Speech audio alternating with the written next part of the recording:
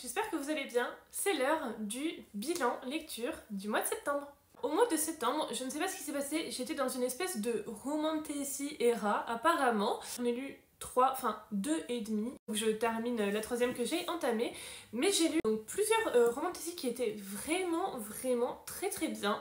Je vais commencer par ce qui est une de mes meilleures lectures de l'année 2024. Une de mes plus grosses surprise, c'est Les braises de la guerre de Carissa Broadbent, publié donc euh, dans la collection Last Kingdom de Bookmark. C'est, je vous le dis, ma plus belle surprise de, ces derniers mois, je trouve. Alors le mois de janvier avait été euh, très prolifique en matière d'excellente lecture. Ensuite, ça s'était un peu stabilisé. Je dois dire que là, en septembre, je n'ai eu que de bonnes lectures quasiment. Et surtout, j'ai eu cette pépite dans les mains. Je vous ai fait un vlog lecture avec euh, plusieurs livres dedans, dont celui-ci, où je détaille vraiment euh, en profondeur tous mes ressentis au sujet du livre. Je vais quand même vous dire ici ce qu'il en est. On suit l'histoire de Tissa, qui est une ancienne esclave, qui va devoir s'affranchir et qui va essayer d'accomplir une vengeance parce que euh, son village a été attaqué par donc, des esclavagistes. Sa famille a été euh, emmenée d'un côté, elle de l'autre, et elle, a été vendue. Donc, histoire somme toute très euh, classique, très traditionnelle, me direz-vous. Je pensais aussi que ce serait très banal, et finalement pas du tout. Le livre est plein de bonnes surprises, et surtout, il est beaucoup plus sombre qu'on voudrait nous le faire croire. C'est-à-dire que moi je m'attendais, comme je viens de vous le dire, à quelque chose de classique, de traditionnel, bon bah une romantasy quoi. Surtout que la fin de la quatrième de couverture nous dit Les fans de romantasy dévoreront cette histoire de magie noire, de romance passionnée, de vengeance et de rédemption. Bon, plus cliché on meurt. Je trouve que c'est très mensonger. cette phrase ne rend absolument pas justice à ce livre. On a beaucoup plus que ça. Euh, on a une héroïne qui a vraiment subi des choses terribles, qui n'hésite absolument pas à en parler, à les montrer pour choquer les gens et pour euh, faire prendre conscience de ce qui se passe autour d'eux. On a aussi l'aspect école de magie qui est intéressant. On a deux ordres, l'ordre du crépuscule et l'ordre des lunaires, probablement un truc comme ça plus le nom du deuxième ordre, mais vous avez deux ordres donc qui sont l'équivalent de deux écoles de magie et elle va essayer de rejoindre l'un d'entre eux justement pour pouvoir développer ses pouvoirs et accomplir sa vengeance. Il s'avère que ce n'est pas vraiment euh, le thème du livre parce que le livre est assez lent, ça prend plutôt la forme d'un roman initiatique. Elle va euh, apprendre auprès d'un maître à développer ses pouvoirs. Ça s'arrête là, l'histoire n'est que ça. Mais dans cette super histoire, il y a tout le côté psychologie des personnages et surtout tout ce qui va être très sombre. Les personnages ont tous vécu des choses extrêmement difficiles. Le mentor, surtout, il y a des scènes qui sont choquantes, hyper visuelles. C'est vraiment, vraiment très, très sombre. Disons que dans la faillerie et la romantésie, souvent, les enjeux sont assez futiles. Vous avez l'exemple de Akotard. Bon, Fer a quand même euh, tué euh, l'un des plus grands faillis euh, de tous les temps, blablabla, euh, blasphème suprême, quelle est sa punition? Elle doit épouser un beau faille musclé dans son beau château et elle se fait traiter comme une princesse. voilà, on, a vu Pierre comme punition, je trouve. Je trouve que souvent dans la faillerie, les enjeux voilà, sont assez futiles et là, pas du tout. Dans ce livre-là, les enjeux sont énormes les difficultés se rajoutent au fur et à mesure du livre et c'est toujours plus et à chaque fois qu'on se dit, bah c'est bon, on va pouvoir respirer un petit peu, un petit peu de bonheur, s'il vous plaît. Eh ben non, non, jamais. Il y a dans ce livre-là un détail qui a fait basculer toute l'histoire de simple excellente lecture à énorme coup de cœur. C'est une forme de magie très particulière.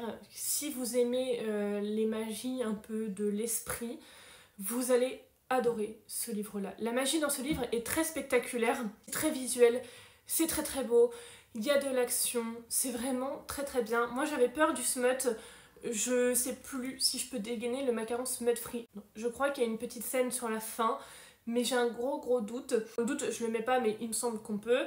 J'avais peur de la traduction aussi, je trouve que c'est plutôt ok. Alors, je ne connais pas la plume de l'autrice en anglais, mais en tout cas, le livre est très agréable à lire en français. J'avais peur de la vulgarité, il n'y a aucun souci là-dessus, c'est pas vulgaire du tout, vous pouvez y aller.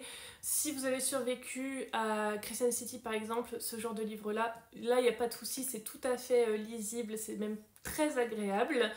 J'ai juste vu une scène que j'ai trouvée euh, plutôt brouillonne. Euh, la première scène d'action, je comprends pas trop comment ça a été écrit. J'ai eu du mal à la visualiser dans ma tête et à me faire une image vraiment très euh, nette de cette scène d'action. Mais après, tout était clair, tout était limpide. J'avais vraiment hâte de rentrer chez moi pour lire ce livre-là. Enfin, j'ai lutté genre 150 pages. Les 150 premières pages, c'était un petit peu long, j'étais pas trop sûre et tout. Et alors, cette scène d'action arrive et après, tout, se découle, tout est super fluide, ça va vite, c'est addictif. J'adore de tout mon cœur ce livre-là. Je vais me jeter sur la suite. Je vous dis, c'est une de mes meilleures lectures de 2024. Si vous hésitez et si vous voulez une romantique qui change, vous pouvez y aller, c'est pas euh, du euh, à like, vous pouvez vraiment y aller. La romance aussi, elle prend pas trop de place. Et ça, j'ai bien aimé, c'est-à-dire que ça, ça pourrait très bien être une fantaisie, hein, en fait, avec un peu de romance dedans, mais ça pourrait très bien être une fantaisie. On sait qu'on va avoir un couple, on sait qu'on va avoir de la romance, etc.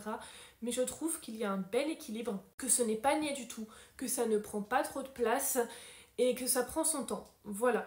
Ça se fait vraiment en détail et en douceur, donc c'est très agréable. C'est très frais, c'est très green flag, il n'y a pas de mec bizarre là-dedans. Au contraire, je trouve que le protagoniste masculin a énormément à nous raconter. Il y a beaucoup de choses qui se passent de son côté aussi. C'est pas juste un love interest, c'est super, vraiment, il est, il est génial. En tout cas, c'est une super histoire. J'ai ouais, eu un gros gros coup de cœur pour ce livre-là. quoi. Si vous hésitez entre le relier et le brochet, je vous donne 2-3 informations sur l'objet livre. Le relier est plutôt agréable à lire. Alors il est très très lourd, mais il est agréable à lire parce que vous voyez, il y a une, espèce de cassure ici qui fait que vous pouvez ouvrir votre livre et il tient. Et ça ne l'abîme pas. C'est plutôt bien collé aussi. En tout cas, l'objet est de qualité. À l'intérieur, c'est plutôt joli. Donc vous avez des entrées de pages comme ceci. Donc c'est plutôt joli. Vous avez aussi des fan art qui sont glissés dedans des fanarts en noir et blanc. Je vous en montre un de loin. Vous voyez, c'est du noir et blanc comme ceci. Alors, je suis pas fan de ces fanarts. Je les trouve pas très bien faits. En fait, le style graphique ne me plaît pas. Et je trouve qu'il y a un manque de cohérence dans les fanarts. C'est-à-dire que notre héroïne change euh, deux ou trois fois de tête. On est dans une histoire où l'apparence euh, des personnages est extrêmement importante. La couleur de cheveux, la couleur de peau va euh, vous distinguer dans l'ordre des mages. Donc c'est quand même important de savoir à quoi ressemblent nos personnages. Et là, on nous dit qu'elle ressemble à ceci. Donc cheveux courts, des taches sur le visage, etc. Alors je suis désolée, je sais plus comment on appelle euh, ces taches qu'on a, ces démarcations de, la peau. Mais en tout cas, c'est ce qu'elle a. Je mettrai le, nom à l'écran, je suis vraiment désolée. Mais voilà, du coup, elle a ça. Et quelques mèches ici. Ensuite, on nous présente un autre fan art où elle est comme ça. Alors, je trouve que ça ressemble fort peu, mais bon. Et ensuite, l'emblème de euh, la série, c'est quand même cette photo-là. Ils sont où ces cheveux noirs? Enfin, vous voyez, ce... voilà. Donc les fanarts sont beaux, mais euh, attention parce que pas toujours très cohérent. Et je vous dis, le, style graphique est très euh, discutable. Voilà, c'est-à-dire que à l'intérieur, à un moment donné, on a Tissa qui est dessinée avec euh, ses petits papillons. Donc ces papillons, c'est la magie qu'elle fait. Moi, je l'ai jamais reconnu, hein. vraiment. Euh, c'est encore une forme de fan art différente de ce qu'on a là. Donc voilà, si vous voulez euh, les fan art, pourquoi pas? Je trouve que c'est pas un argument suffisant pour prendre le relier. Après, il est joli, il y a un beau jaspage, pourquoi pas? Mais euh, voilà, si j'avais eu le brochet, euh, ça m'aurait très bien allé aussi. C'est ça la deuxième romantasy que j'ai lue, donc c'est La Reine des Enfers de Bea Fitzgerald, et ça c'est publié chez Nathan si je me trompe pas. C'est ça, chez Nathan roman. Le livre, encore une fois, est très joli. C'est un cadeau qu'on m'a fait. Euh, c'est un beau beau relié avec un joli petit jaspage tout mignon.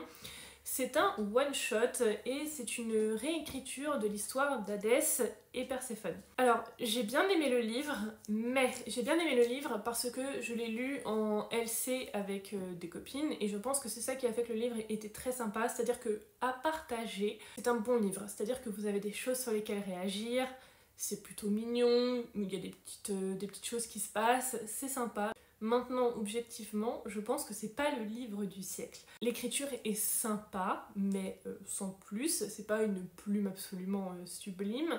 La mythologie grecque est une toile de fond pour la romance. Disons que ce n'est qu'un décor. Si vous avez lu euh, Pallas, Le chant d'Achille, ces trucs-là, ça, euh, c'est pas trop dans la même lignée, quoi. C'est vraiment euh, l'autrice a envie de se faire un petit kiff et se faire une romance avec certains dieux et certaines déesses. Bon, c'est tout. On va s'arrêter là, quoi. Après, je trouve que le décor est chouette, du coup, parce que on est aux enfers, il y a quand même les divinités, c'est des noms qui nous parlent, etc. Donc tout de suite, ça crée une espèce de connexion avec le texte qui est assez facile à faire parce que ce sont des références que l'on a, que l'on n'a pas spécialement à réapprendre. Donc voilà, ça reste plutôt sympa pour l'immersion. Maintenant, l'histoire en elle-même, de quoi ça parle? En fait, c'est l'histoire de Perséphone qui est promise à un mariage arrangé parce que sa mère euh, veut absolument la caser avec un dieu, si possible un dieu puissant, un olympien ou alors un des dieux de la rivière et des océans de Poséidon. Surtout pas un dieu des enfers, parce que les enfers, ça craint là-bas, c'est vraiment pas prestige du tout, et que la mère de Perséphone veut du prestige. Perséphone sent tout de suite qu'on va la caser avec le loser du siècle, donc euh, plutôt que d'accepter ça, elle profite que sa mère et Zeus soient partis en repérage d'un futur prétendant pour envoyer un message aux enfers et partir. Alors on le sait hein, que les déesses sont pas spécialement bien traitées, mais là c'est vraiment accentué. Bea Fitzgerald a l'air très féministe, très engagée sur les questions de lutte contre le patriarcat, d'objectivation du corps de la femme, etc. Donc c'est des choses qui nous font un peu crisser des dents, je trouve, quand on lit. C'est-à-dire que euh, personne ne comprend pourquoi Perséphone ne veut pas se marier avec un Olympien. Euh, par exemple, personne ne comprend pourquoi Perséphone ne voudrait pas d'Apollon. Apollon est tellement beau, il a tellement de gros abdos, comment ça se fait que Perséphone ne veut pas ça quoi? En fait, ça, ça va être accentué plus plus plus dans le livre. Votre féminisme en prend un vrai coup, mais euh, on sent que c'est le but du livre quoi. Après, je trouve que c'est la quatrième de couverture la plus mensongère que j'ai pu lire depuis très très longtemps. Je trouve que la quatrième de couverture nous vend une énième romantaisie banale, cliché, sans aucune surprise. On lit la quatrième de couverture, on dit bah ce livre là en fait il existe un million de fois et je vais encore me taper un espèce de dieu toxique, euh, masculin, euh, qui arrête pas de grogner, blablabla, et la petite Perséphone en détresse et tout ça. Pas du tout. Ne, ne lisez pas, euh, ne lisez pas la quatrième de couverture si vous voulez l'acheter en vrai. Le livre est très sain, c'est le Green Flag en puissance. Ce livre-là est une vraie bonne surprise, c'est-à-dire que vous n'avez rien de toxique, de malsain, de problématique là-dedans. Et c'est ça qui me fait plaisir, c'est que on a vraiment de beaux messages qui sont transmis. Si tous les hommes pouvaient ressembler à Hadès, en fait notre monde irait vraiment beaucoup mieux, je pense. je pense qu'il y a beaucoup de couples qui iraient beaucoup mieux aussi. Donc euh, si vous voulez une romance fraîche, qui fait sourire, qui est saine, qui est mignonne, vous pouvez lire La Reine des Enfers, c'est parfait pour l'occasion. Si vous aimez les personnages secondaires un peu pipou, vous pouvez y aller aussi. Et ce que j'ai bien aimé aussi, c'est le côté un peu trop inversé. Alors, je sais pas si je peux vraiment parler de trop inversé, mais tous les clichés de romanticisme, vous les inversez, vous les mettez dans ce livre-là et vous regardez si ça peut vous plaire. En gros.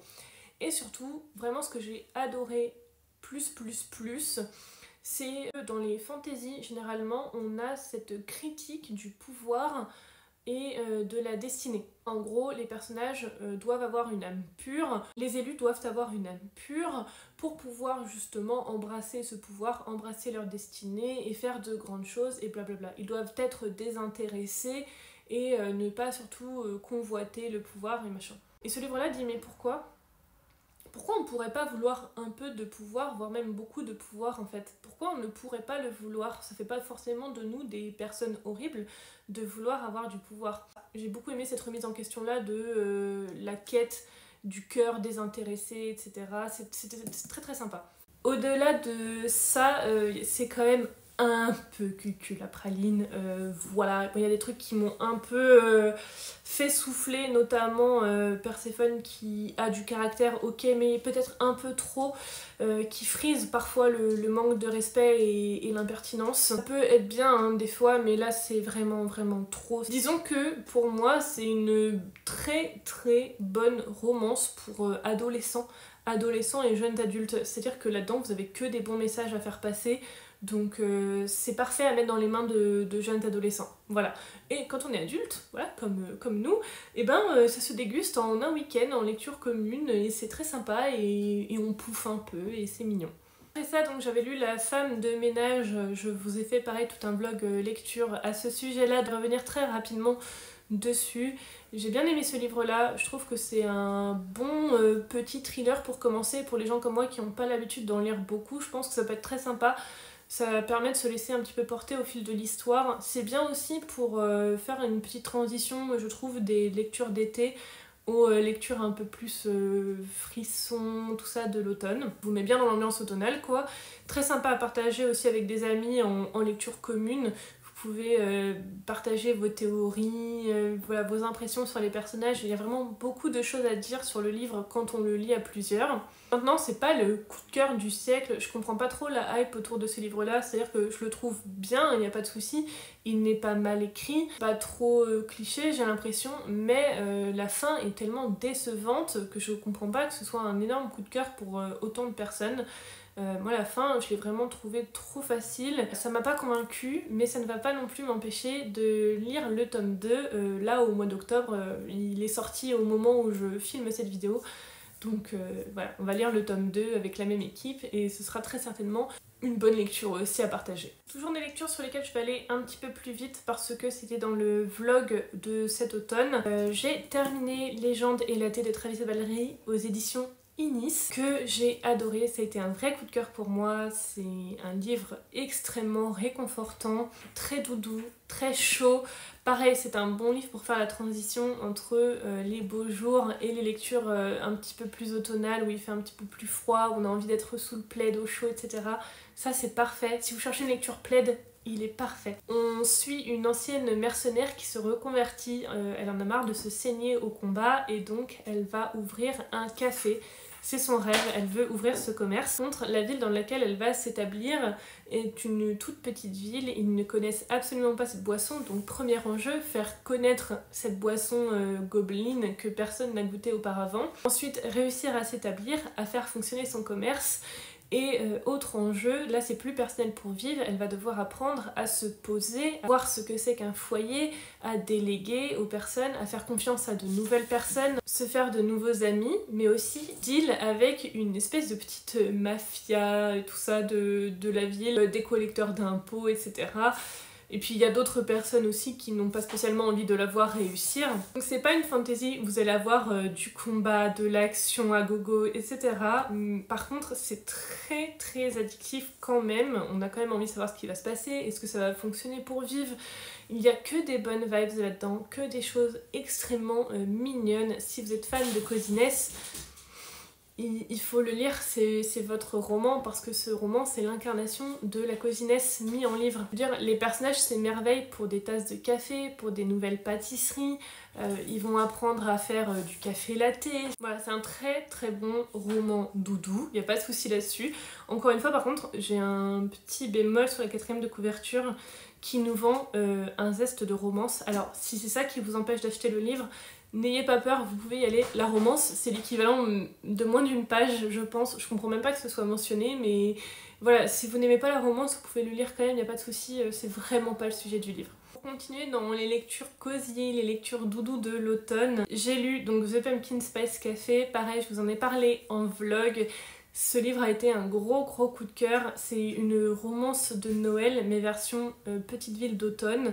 C'est très très sympa, les fans de romance doivent absolument le lire. C'est le livre de la saison. C'est très très bien, c'est très doudou. Pareil, c'est green flag à souhait, il n'y a pas de smut euh, gênant, pas de scène ultra explicite. C'est mignon, c'est l'histoire d'une jeune femme qui vivait à Boston, qui va reprendre le café de sa tantine dans ce small town là, c'est Dream Harbor que ça s'appelle bien sûr. Elle va rencontrer le farmer hyper sexy du coin et ça va être le coup de foudre entre eux, s'ensuit euh, une romance très mignonne. Il y a aussi ce côté café hanté, il se passe des trucs, il y a un mystère, on sait pas quoi. C'est une romance très très sympa. Euh, moi je vais suivre vraiment avec beaucoup d'attention Laurie Gilmore. Euh, ça a été le même style de coup de cœur que pour Ali Hazelwood. C'est vraiment le même style de livre. Alors beaucoup moins engagé par contre que Ali Hazelwood. Là c'est beaucoup plus léger bien sûr, mais c'est le même ton un peu humoristique qui est greffé dedans. C'est pas trop, euh, c'est pas tout le temps, c'est quelques petites références qui nous font sourire et qui nous font euh, un peu pouffer. Si vous avez aimé Ali Hazelwood, je vous recommande de vous pencher vers ce genre de livre parce que je pense que ça peut vraiment vraiment vous plaire aussi. Ma dernière lecture de ce mois de septembre, c'est La maison au sortilège, publié chez J'ai lu de Emily Hart, Emilia Hart, je sais plus, que j'ai écouté sur Audible. On a trois femmes euh, à trois époques différentes qui vont nous raconter leur histoire. Donc le ton, c'est vraiment le ton de quelqu'un qui nous parle. Donc si euh, vous n'aimez pas trop ce genre de narration-là, euh, ça peut vous déplaire. Par contre, si ça vous dérange pas qu'on vous raconte juste une histoire, comme si on vous lisait le livre, bah là, euh, vous allez adorer parce que c'est exactement ça. Donc vous n'avez pas tant d'action que ça. Vous avez une femme en 1600, à l'époque où les sorcières sont chassées, une femme juste après la Seconde Guerre mondiale, donc en 1940 et quelques, et vous avez une femme euh, plutôt de nos jours, euh, je sais plus si c'est 2019, 2020, quelque chose comme ça, mais voilà, vous avez vraiment trois époques distinctes. Ces trois femmes-là, on le sent tout de suite, sont liées par des liens familiaux, plus ou moins directs et surtout elles ont un lien plus ou moins proche avec la sorcellerie. La première est accusée de euh, sorcellerie parce qu'elle a essayé de soigner euh, plusieurs personnes, ces personnes sont mortes et euh, autour d'elle il y a aussi eu un accident, quelqu'un qui est décédé et on pense que c'est elle qui s'acharne. On commence avec son procès et on va nous raconter bah, ce qui lui arrive et son procès. Le deuxième point de vue, euh, c'est une jeune fille qui subit énormément les conventions sociales de son époque. Euh, ça doit être une bonne jeune fille bien sage et bien à sa place. Sauf que c'est pas du tout euh, son style à elle. Il arrive aussi une énorme catastrophe et du coup s'ensuit un espèce de mariage arrangé horrible c'est euh, le point de vue qui pour moi était le plus difficile à suivre parce que euh, il heurte les sentiments. En plus, je trouve que quand on est une femme, ça doit être encore plus difficile à lire. Je sais pas, je veux pas euh, diminuer les sentiments des hommes et des lecteurs face à ce livre-là, mais vraiment quand on est une femme, j'ai l'impression que ça nous touche au plus profond de notre être, de notre intimité. C'est des sujets qui sont vraiment extrêmement sensibles pour nous. Donc le point ce point de vue-là, euh, le point de vue de Violette a été vraiment assez délicat pour moi. En plus, elle n'a aucune information sur sa mère, donc elle essaye d'enquêter un peu, de savoir ce qui se passe, de savoir d'où elle vient. Son horrible père ne lui donne rien, aucune information. Enfin, c'est un point de vue qui était difficile à lire mais qui était quand même très intéressant. Et le dernier, pareil, il fait beaucoup de peine celui-là. Le dernier, donc euh, une jeune femme qui subit des violences conjugales et qui va essayer de s'enfuir, essayer de s'en sortir, de se reconstruire. Donc comme vous avez pu le comprendre, je pense, le livre va traiter de sujets extrêmement sensibles concernant euh, les femmes. C'est un livre très féministe, très engagé, qui pointe du doigt euh, tout ce qui touche au sexisme, à la misogynie, à la discrimination des femmes. J'ai trouvé ça dur parce que bah, moi, c'est des sujets sur lesquels j'ai du mal. Alors pour certains sujets, j'ai vraiment du mal, notamment euh, les agressions sexuelles. Les agressions sexuelles explicites, moi je peux pas. C'est dur pour moi. Euh, par exemple, dans Adi la rue, c'est pas spécialement explicite, c'est juste euh, mentionné. Et déjà, ça a été compliqué. C'est pour vous donner un petit peu mon niveau de tolérance. Et donc, ce livre-là, bah forcément, va en parler. Donc déjà moi j'étais pas bien. Et ça va parler, bah, comme je l'ai dit, de violence conjugale, ça va parler bah, du fait que les femmes sont des démons de l'enfer euh, affiliés aux sorcières, etc. Je vous dis, il heurte vraiment vos sentiments en tant que femme. C'est très compliqué. Je ne sais pas ce qu'on peut ressentir quand on est un homme et qu'on lit ce genre de choses. Je pense que pour certains hommes qui sont euh, corrects, respectueux, et ça doit être assez difficile parce que l'image que ça renvoie euh, de leur sexe est très très mauvaise. Vraiment, si vous lisez ce livre, vous en venez à détester la jante masculine. Alors, c'est voilà, c'est pas ce qu'il faut faire, mais euh, c'est très compliqué. Hein. C'est vraiment très très dur parce que euh, tout le monde est pourri en fait. Tout, le monde est, cruel, tout le monde est horrible. C'est dur, ça a été très très dur. Le point de vue qui m'a le moins si je peux dire ça comme ça, c'est le premier parce qu'on est vraiment dans le côté euh, les femmes sont des démons, des sorcières, etc. Ce qu'on a un peu moins de nos jours, c'est le point de vue qui est le moins actuel. Il n'empêche qu'il se passe quand même des choses. Hein. Je veux dire, Alta, elle vit quand même des trucs aussi. Les femmes autour d'Alta à cette époque vivent des trucs horribles aussi. Hein. Mais disons que c'est moins percutant, c'est moins choquant pour ma sensibilité à moi.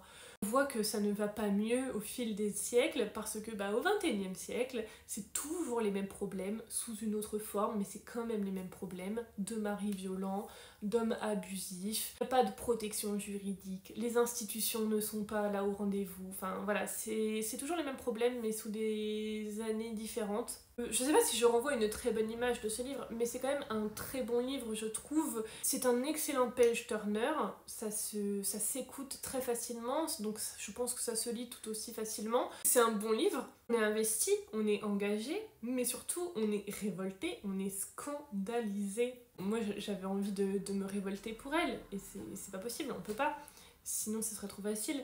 Donc euh, voilà, c'est un livre euh, très engagé, très féministe, qui fait un peu, un peu mal au cœur, mais qui est quand même très très sympa. Il y a une forme de beauté dans ce livre dont je ne vous ai pas parlé, une beauté dans la reconstruction et dans l'entraide, c'est-à-dire que certaines femmes vont s'aider les unes les autres pour se reconstruire, pour permettre à d'autres d'avancer. Il y a quand même une belle finalité, le livre n'est pas juste horrible et trash, etc. Non, non, il y a vraiment ce côté euh, soutien émotionnel après. La reconstruction est très très belle, ce qu'elle devienne ensuite, c'est très beau aussi. Voilà, c'est un bon bon livre, c'est très sympa à lire.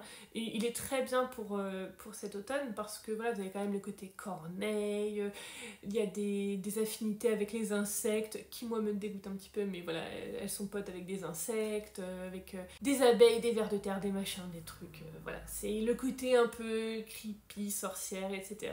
Il y est aussi, c'est très sympa. Et très très bien pour la saison. Si vous voulez pas lire de fantasy c'est pas mal, c'est vraiment pas mal. Voilà, c'en est tout pour ce bilan du mois de septembre.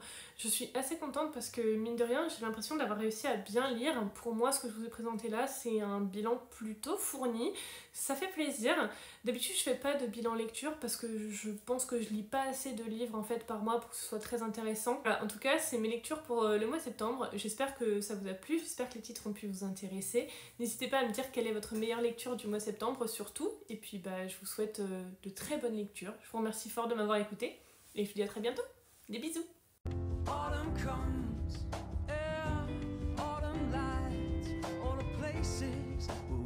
to spend those sleepless hours.